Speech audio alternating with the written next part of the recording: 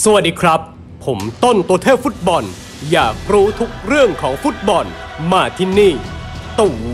วเทพฟุตบอล วันนี้ขอเสนอ แม่ทัพและขุนศึกคู่ใจ ในสมรภูมิฟุตบอล หากว่าในสมรภูมิรบจำเป็นต้องมีแม่ทัพที่ยังรู้ทุกเรื่องของยุทธศาสตร์ และกลยุทธ์ในการรบ และขุนศึกที่แกร่งกล้าสามารถ ในด้านต่อสู้ในสนามฟุตบอลก็เช่นเดียวกัน ที่จะต้องมีผู้จัดการ ที่คอยเป็นมันสมองในเรื่องของแผนการเล่น และนักเตะที่มีฝีเท้าชั้นเยี่ยม ที่สามารถเล่นให้เข้ากับแผนการเล่นของทีมได้ แผนการเล่นที่ดี หากจะทำให้เกิดประสิทธิภาพที่ดีที่สุดจำเป็นต้องมีนักเตะที่มีความเข้าใจ ในตัวของผู้จัดการทีม และเทคนิคที่วางเอาไว้ และสามารถทำแผนการที่วางเอาไว้ ให้กลายเป็นแผนการที่แข็งแกร่งที่สุดได้ หากสิ่งเหล่านี้นะครับ สามารถหลอมร่วมกันเป็นหนึ่งผลลัพธ์ที่ได้ออกมาก็คือชัยชนะที่สมบูรณ์แบบ และในวันนี้นะครับทางตัวเทพฟุตบอล ได้รวบรวมโค้ชและนักเตะคู่ใจที่เป็นดั่งแม่ทัพผู้ปราดเปรื่อง และขุนศึกผู้เกรียงไกรมาให้ทุกท่านได้รับชม จะมีผู้จัดการทีม และนักเตะคนใดกันบ้าง ไปชมกันเลยครับ เริ่มกันที่เดวิดมอยส์ และมารูยานเฟลไลนี่ โดยมิดฟิลด์สัญชาติเบลเยียม เคยร่วมงานกับเดวิดมอยส์ เมื่อสมัยอยู่กับเอเวอร์ตัน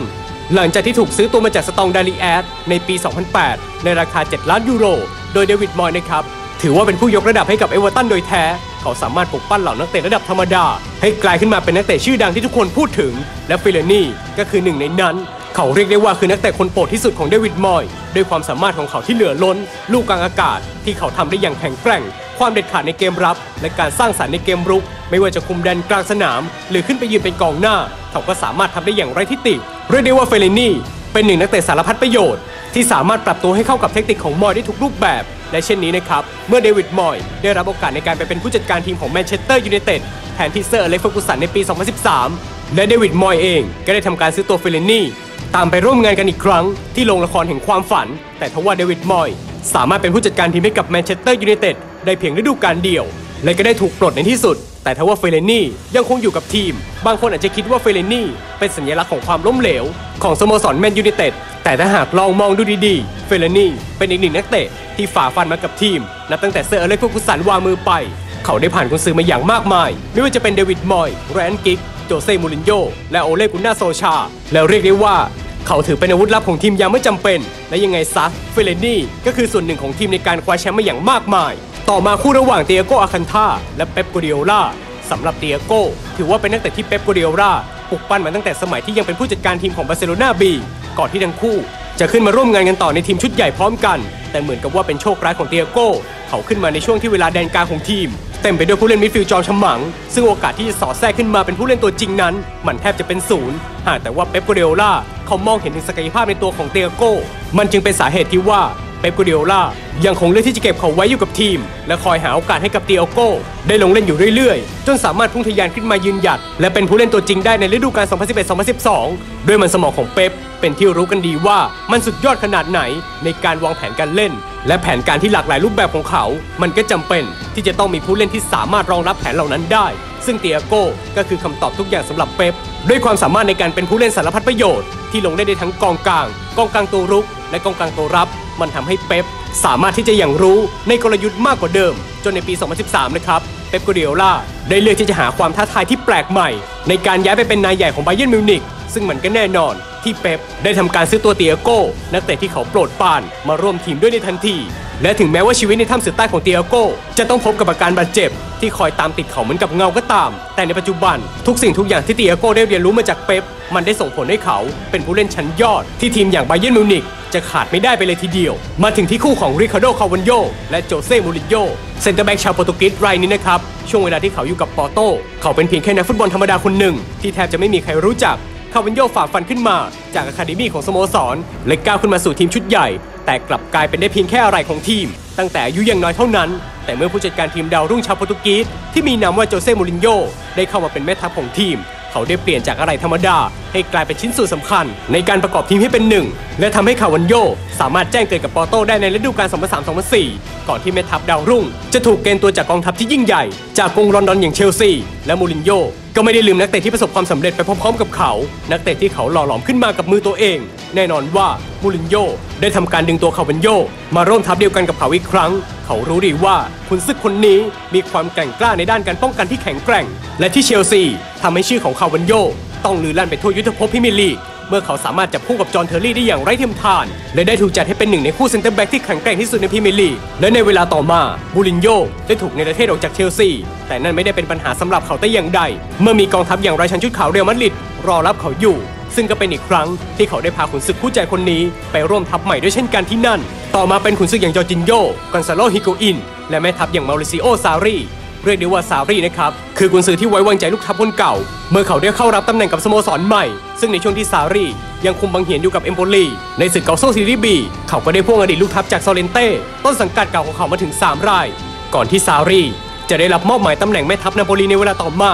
ซึ่งซารีเองก็ยังหวนกลับไปคว้าอดีตลูกทัพจากเอมโปลีตามมาร่วมทัพอีก 3 รายด้วยกัน ซึ่งมีขุนศึกคนโปรดอย่างเอลเซอิดฮิซายเป็นตัวชูโรง ซึ่งในตอนที่ซารี ได้เข้ามาคุมทัพนาโปลี มันทำให้ซารีได้พบกับขุนศึกฝีมือฉกาจอย่างจอร์จินโย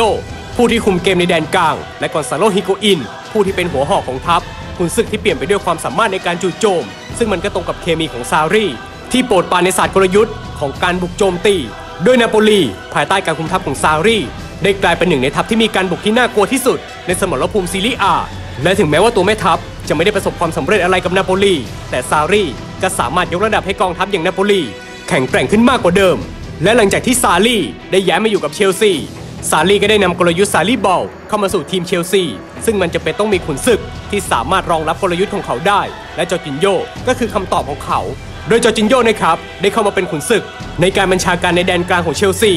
และในช่วงแรกของต้นฤดูกาลดูเหมือนว่าสิ่งที่ซารีวางไว้ให้กับเชลซี มันเหมือนจะเป็นไปได้สวย เมื่อเชลซีโชว์ฟอร์มได้อย่างยอดเยี่ยม แล้วไร้พ่ายในถิ่นสแตมฟอร์ดบริดจ์ติดต่อกันถึง 16 นัด ก่อนที่จะมาแผ่วปลายจนถึงปัจจุบัน และจากเหตุการณ์ดังกล่าวทำให้ซารีเลือกที่จะแก้ปัญหา โดยการเรียกตัวขุนศึกแนวรุกคนโปรดอย่างกอนซาโลฮิโกอินเข้ามาร่วมทัพอีกหนึ่งคน และดูเหมือนว่าล่าสุด เชลซีจะเริ่มเข้าทรงมากขึ้นทั้งนี้อาจจะเป็นเพราะว่าซารีได้กลับมาร่วมงานกับขุนศึกคู่ใจ ที่รู้ถึงความสามารถกันเป็นอย่างดี และมันอาจจะส่งผลต่อความสำเร็จในอนาคตก็เป็นได้ มาต่อกันที่ขุนศึกพอลสโคลส์ และแม่ทัพอเล็กซ์เฟอร์กูสัน เด็กหนุ่มแห่งประวัติศาสตร์ class of 92 จากสโมสรแมนเชสเตอร์ยูไนเต็ด ที่ถูกเฝ้ามองมาโดยตลอด จากแม่ทัพชาวสกอตแลนด์อย่างอเล็กซ์เฟอร์กูสัน เรียกได้ว่าเขาทั้งคู่เปรียบได้ดังแม่ทัพและขุนศึกคู่ใจโดยแท้ และทั้งคู่ได้อยู่ร่วมทุกข์ร่วมสุขที่แมนเชสเตอร์ยูไนเต็ดด้วยกันมามากกว่าทศวรรษ จากเด็กตัวเล็กรูปร่างผอมบาง ที่มักจะโดนรังแกอยู่เป็นประจำได้ถูกกระชากจิตวิญญาณของยอดนักสู้ขึ้นมา จากชายที่มีชื่อว่าอเล็กเฟอร์กูสันได้หล่อหลอมให้พอสโคกลายเป็นสุดยอดขุนศึกระดับพักการ และได้นำความสำเร็จที่มากมาย ที่ทำให้เขาเรื่องชื่อไปทั่วทั้งโลก ความปรมาจารย์ในการคุมแดนกลางของพอสโค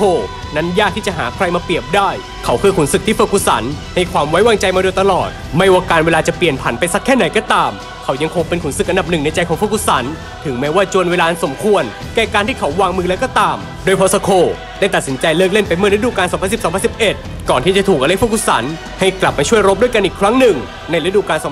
2011-2012 โดยสโคลส์ในวัย 38 ปีในตอนนั้น ได้หวนกลับมาสู่โอลด์แทรฟฟอร์ดอีกครั้ง ทั้งยังสามารถพาเหล่ากองทัพแมนเชสเตอร์ยูไนเต็ดคว้าแชมป์พรีเมียร์ลีกได้สำเร็จ ซึ่งแค่เพียงเท่านี้นะครับ เราก็สามารถรับรู้ได้แล้วว่า ไม่สามารถจะหาคำใด มาเปรียบให้กับแม่ทัพและขุนศึกคู่ใจคู่นี้ได้ และทั้งหมดนี้ก็คือตัวอย่างแม่ทัพและขุนศึกคู่ใจในสนามฟุตบอล ที่ทางตัวเทพฟุตบอล ได้รวบรวมข้อมูลมาให้ท่านได้รับชมกันในวันนี้ครับ เมื่อวัวเคยค้าม้าเคยขี่กลยุทธ์จะสามารถแข็งแกร่งได้อย่างสมบูรณ์ ก็ต้องถูกเติมเต็มด้วยสิ่งที่เหมาะสมเท่านั้น และเหล่าแม่ทัพทั้งหลายที่ได้กล่าวเอาไว้ พวกเขาเลือกที่จะใช้ขุนศึกที่เคยผ่านการรบมาด้วยกันแล้วทั้งนั้น แล้วเราก็ได้เห็นแล้วว่า พวกเขาทั้งหมดได้สร้างประวัติศาสตร์ แล้วเรื่องราวที่ยิ่งใหญ่ให้กับวงการฟุตบอลมากเพียงใด